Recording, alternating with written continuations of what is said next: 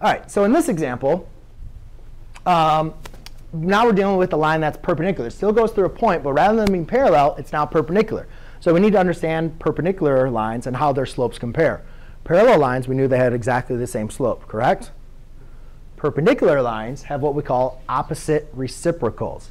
So for instance, let me just kind of go over to this one here real quick, just because this example is probably not the best to discuss opposite reciprocals. Opposite reciprocal slopes. Let's just pretend, for example, this is like a little side note.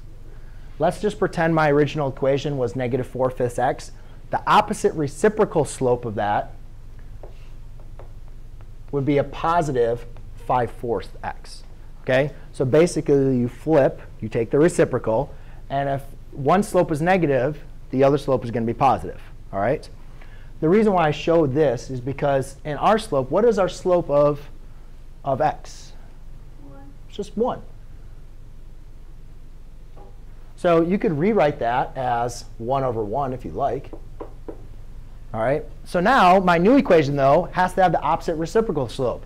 So rather than having over here, remember we knew the slopes had to be the same. Now my slope has to be the opposite reciprocal.